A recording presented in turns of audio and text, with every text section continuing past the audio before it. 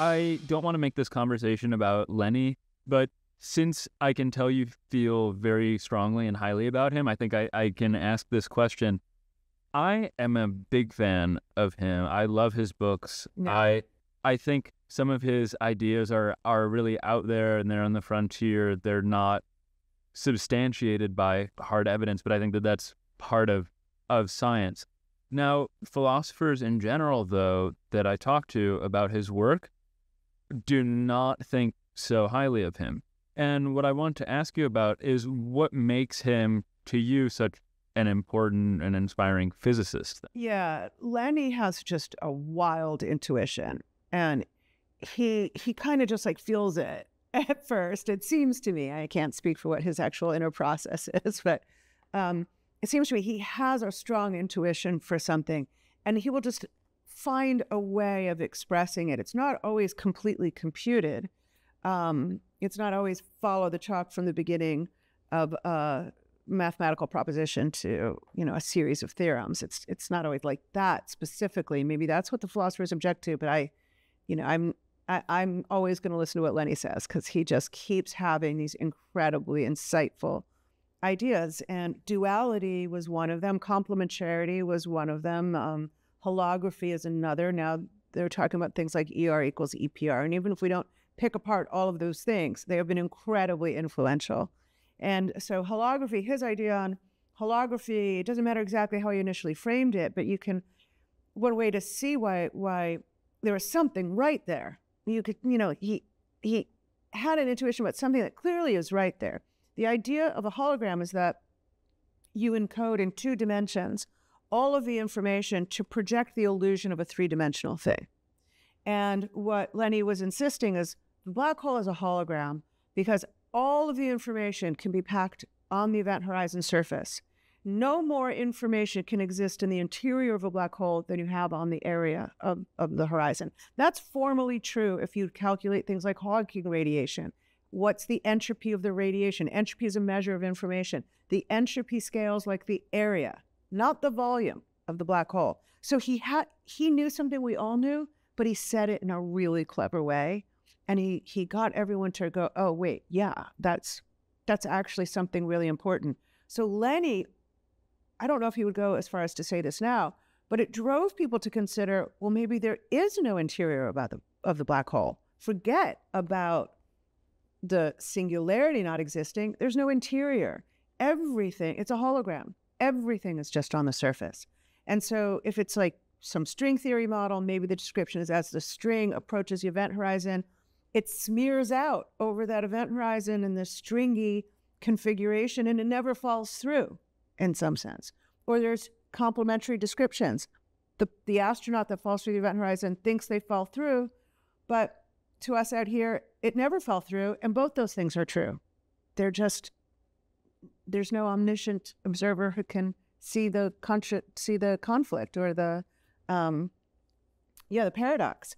So his ideas are unbelievably profitable uh, for the community, and um, and even something like holography and this kind of a duality of the interior and the exterior was eventually made precise by Juan Maldacena in a specific model of a universe in a box, where he basically shows uh, uh, the universe in a box. I can completely describe, completely accurately in a different description, which is just the surface of the box, and the interior doesn't exist in some sense, or or it's just a different description. I don't need the interior of the box. So anyway, it's just to say eventually somebody makes it precise.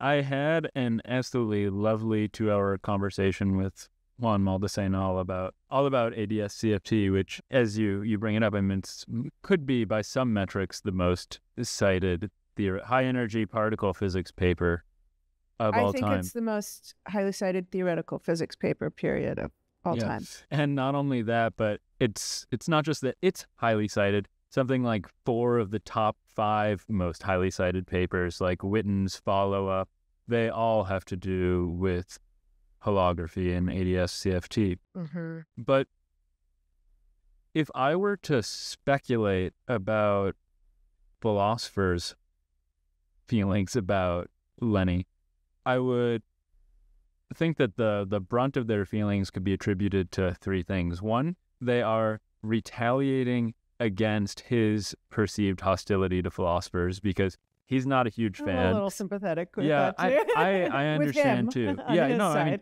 there are there are some good philosophers of physics, and there are You're a lot. You're not going to philosophy a rocket into space. Yes, yeah, uh, I get it.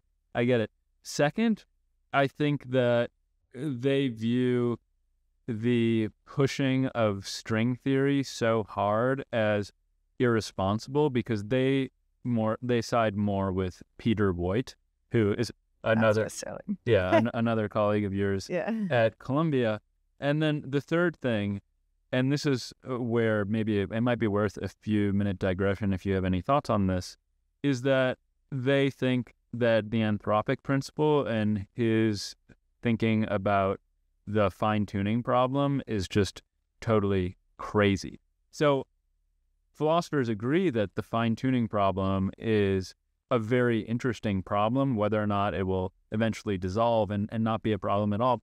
But I'm wondering if, I mean, fine tuning is the sort of thing that could keep me up at night. I'm wondering if it's something that you think about at all. And if so, maybe you could explain what the problem is Well- before you. well, let me just just not to pose too ardent a defense of Lenny, but um, I don't believe Lenny will stick to uh, something wrong.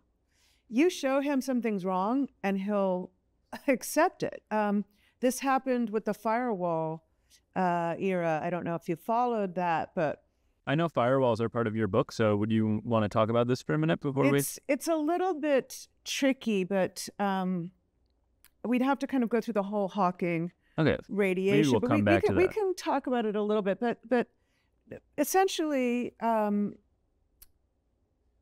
the the firewall crisis was one that showed that complementarity could not be, in some sense, completely respected. This idea that oh, if you fall in, there's nobody who can know that you fell in, and also.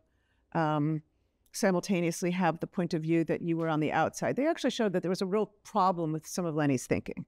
Let's just put it that way, just to make it simpler. And uh, of course, he accepted what they were saying. He was flipped out. He was irritated. He was grouchy, um, but he didn't deny what was shown to him. So I completely uh, do not like this attitude that just because somebody has explored a possibility that they're somehow religiously adhering to it um, with, you know, in some unreasonable way against all evidence to the contrary. That's not Lenny. That's not what I've seen ever. So I think if you showed him holography was wrong, he would be like, ah, damn, you know, like supersymmetry didn't work out so well. Bummer, you know, right. move on.